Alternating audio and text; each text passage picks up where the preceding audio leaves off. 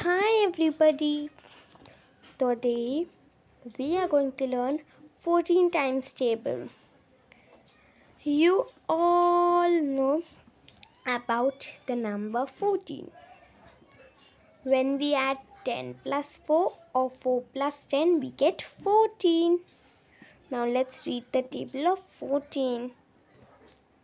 14 zeros are 0.